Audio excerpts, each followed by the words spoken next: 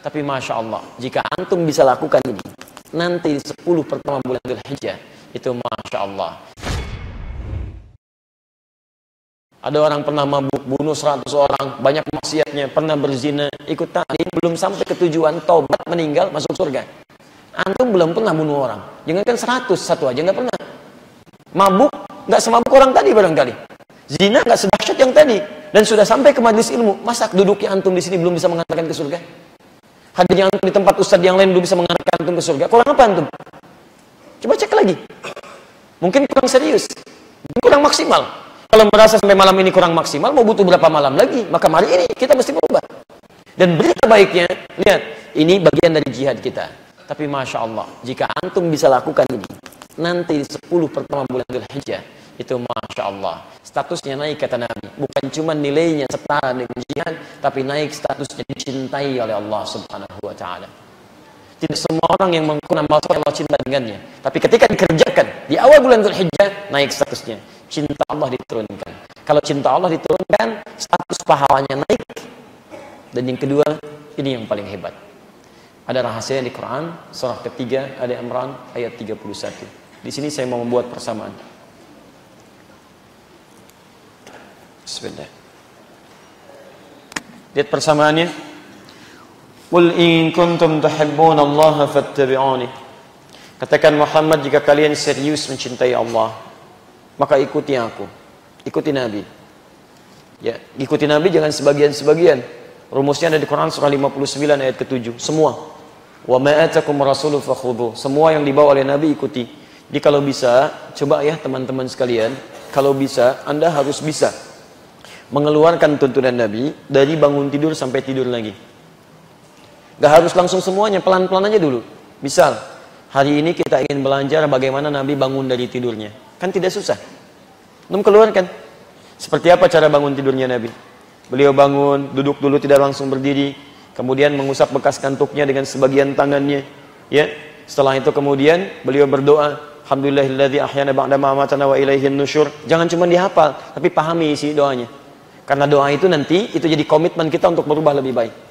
Alhamdulillahilladzi ahyana ba'da ma amatana. Terima kasih Allah yang memberikan kehidupan kembali setelah menahan nyawa hamba sementara waktu. Wa ilaihin nusyur. Saya berjanji ya Allah, saya akan cari bekal untuk kembali kepadamu.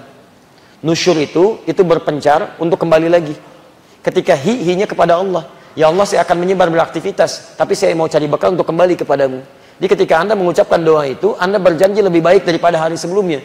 Yang kurang Anda lengkapi, yang lebih Anda pertahankan. Makanya malamnya Nabi selalu koreksi diri sebelum tidur dicek apa yang kurang, yang kurang istighfar, istighfar, istighfar. Bertekad besok kalau hidup diperbaiki lagi. Begitu bangun Anda komitmen, saya akan beraktivitas di Allah mencari bekal lebih baik daripada sebelumnya. Sehingga ketika pulang bekal saya cukup dalam pandanganmu. Itu poinnya. Di aneh kalau orang membaca doa itu setelah itu maksiat, aneh. Aneh. Ada yang salah dalam bacaan doanya.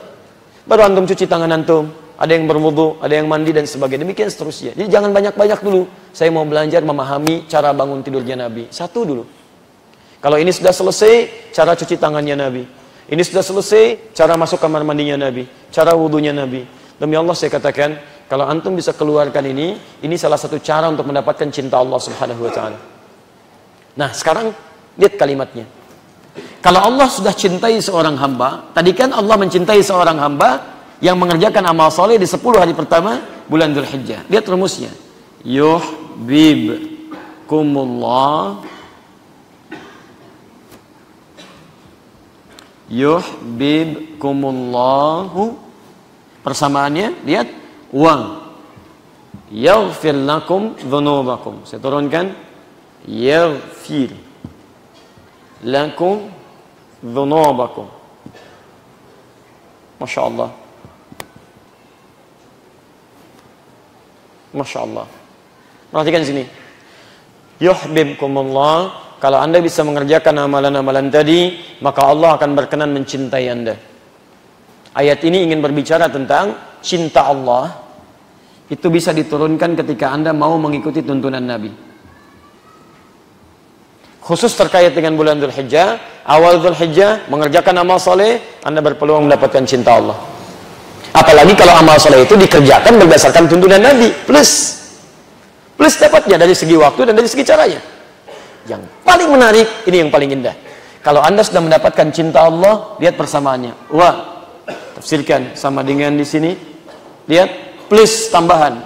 Dapat cinta Allah plus kita jadikan equal ke bawah. Orang yang mendapatkan cinta Allah wa yaghfir lakum dzunubakum, maka yang pertama Allah berikan pada orang ini bukan sekedar pahala yang berlipat, tapi Allah akan ampuni semua dosanya. Ampunan dosa. Allahu akbar. Perhatikan. Dosa dalam bahasa Arab, kalau sudah ada dosanya, salah dan dosa itu zambun namanya, zambun. Kalau anda jamakkan menunjuk pada makna banyak, ini dhunub namanya. Dhunubakum. Ketika Allah mengatakan akan ampuni dosa, Allah tidak katakan wa lakum dzambakum. Itu cuma satu dosa. Tapi ketika Allah menyampaikan dzunubakum semua dosanya berpotensi diampuni oleh Allah Subhanahu wa taala. Saya mau tanya pada antum, jangankan yang banyak. Coba cek. Maaf, maaf, maaf. Saya ambil yang paling minimal. Adakah di antara kita sampai malam ini yang tidak punya dosa? Boleh angkat tangan. Silakan. Ayo kalau nggak malu angkat tangan. Yang sedikit? Tuh, yang banyak? Banyak banget. Lalu saking banyak yang nggak bisa diangkat itu kan? Nah pertanyaannya kalau anda sadar banyak dosanya, diberi peluang untuk diampuni, kenapa nggak anda ambil? Tawaran pertama ikuti Nabi. Ada tawaran nggak anda ambil? Tawaran kedua 10 hari. Banyak di situ nggak anda ambil juga. Kalau semua tawaran sudah diberikan nggak mau anda ambil juga, Allah perlu menawarkan apa lagi pada anda? Jadi memang benar kata Nabi, seluruh umatku akan masuk surga. Seluruh umatku kata Nabi, illa man aba kecuali yang tidak ingin. Jadi kalau ada umat Nabi tidak masuk surga, yang salah bukan Nabi, yang salah bukan Allah, yang salah orang itu karena tidak ingin masuk surga. Tawaran ampunan dosa ada, tawaran pahala berlipat ada, tawaran masuk surga tanpa hisab ada. Semua tawaran ini tidak diambil. Lantas yang salah siapa? Nah ini poinnya. Jadi kalau kita kembalikan ke sini lihat kalimatnya, wa yaghfir lakum. Pertama, kalimat dosanya menggunakan kata dzunub. Hati-hati. Saya ingin katakan demi Allah saya katakan, sepanjang manusia mendapatkan kesempatan hidup, nyawanya belum sampai ke kerongkongan, sejahat apa pun dia masih punya kesempatan untuk berubah. Dan sejahat apa pun Allah dengan keadilan sifat rahmannya akan tetap memberi petunjuk sampai akhir hayatnya supaya dia mau berubah. Antum pernah dengar kisah Fir'aun? Saya tidak katakan antum kenal Fir'aun. Fir'aun kan sering saya contohkan jahatnya luar biasa. Kata-katanya kejam. Bukan cuma kejam, kadang-kadang juga melahirkan potensi kehilangan nyawa. Kan saya sering contohkan. Ya, kalau saya berikan ilustrasi ini, rambut kamu tuh nggak bagus sekali itu. Jangan dipegang. Pisahkan kepala dari badannya. Bahasanya begitu. Ini contoh mas, bukan bukan ke antum ya. Contoh, contoh ya. Jangan berkecil hati ya. Pekan depan datang lagi ya. Baik, baik. Jangan berkecil hati. Baik. Ini cuma kadang-kadang contoh. Baik, contoh. Itu Fir'aun kalau menunjuk, ilustrasinya begitu. Bukan nyuruh nyukur, pisahkan kepala dari badannya. Resikonya kematian.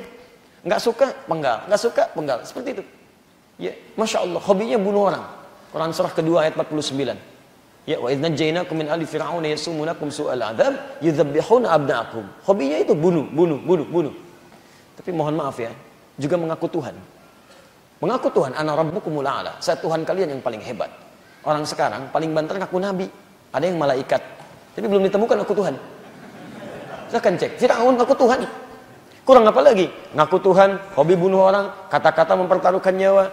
Tapi saking adilnya Allah, sifat adil Allah memperlakukan sifat kasihnya berlaku untuk seluruh hamba sebelum sampai nyawanya ke tenggorokan.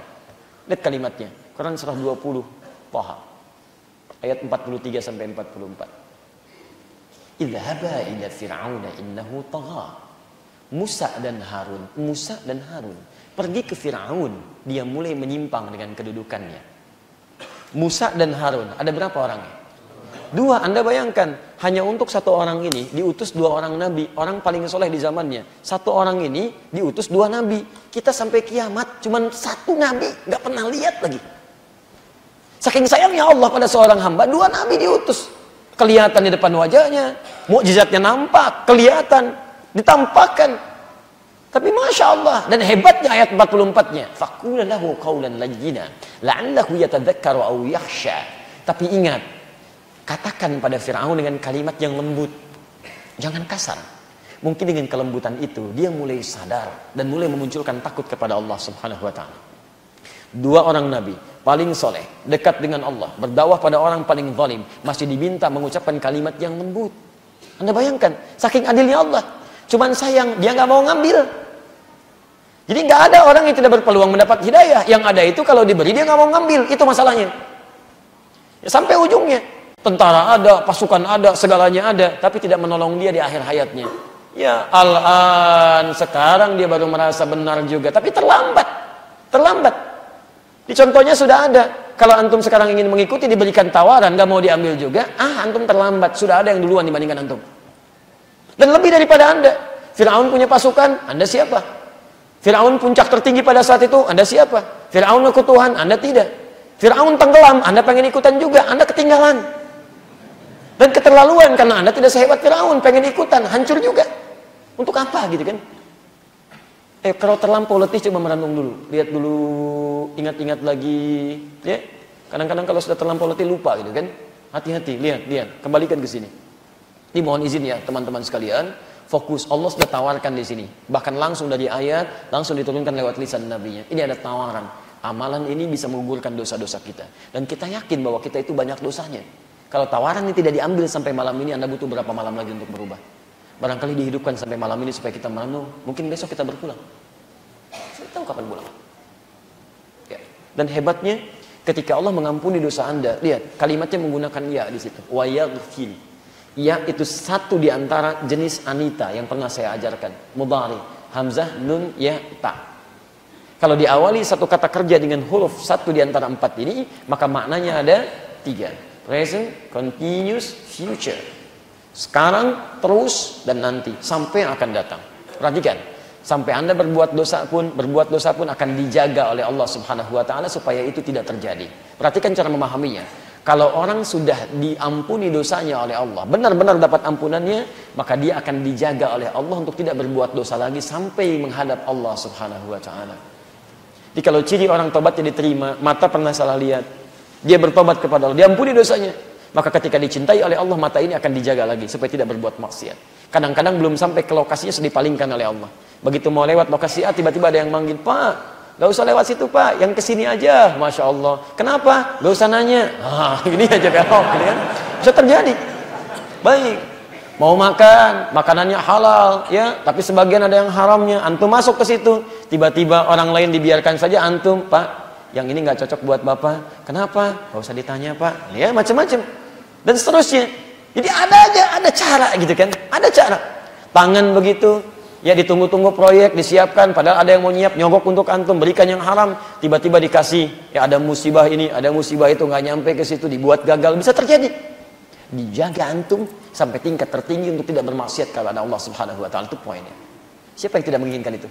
Kalau hamba naik status menjadi dicintai oleh Allah dosa diampuni dijaga diri dari berbuat kesalahan dan kemudian apa yang terjadi? Amal dinaikkan oleh Allah melebihi amalan jihad fi sabilillah bahkan dalam jihad visi siapa yang tidak merindukannya maka ada tawaran kepada kita, karena itulah para sahabat mempersiapkan dua bulan sebelum momentumnya. Karena besar tawarannya. Antum ada proyek besar dunia aja siap-siapnya jauh sekali. Masya Allah, Jepang mau Olimpik tahun 2020. Dua tahun sebelumnya, bahkan tiga tahun sebelumnya, sudah konsolidasi, koordinasi, minta masukan ini, masukan itu. Itu cuma urusan dunia. Antum punya momentum tingkat RT, persiapan juga jauh. Ini bagaimana begini, bagaimana begitu. Masya Allah. Ya, Cuman singkat aja untuk urusan dunia disiapkan begitu matang. Maka bagaimana dengan tawaran akhirat yang datangnya setahun sekali? Kalau antum nggak dapat yang tahun ini nih, tinggal dua bulan lagi, bahkan sebulan ke depan kurang lebih, ya cuman sebulan ke depan, antum nggak dapat tahun ini, antum nunggu tahun depan dan belum tentu hidup tahun depan. Itu masalah.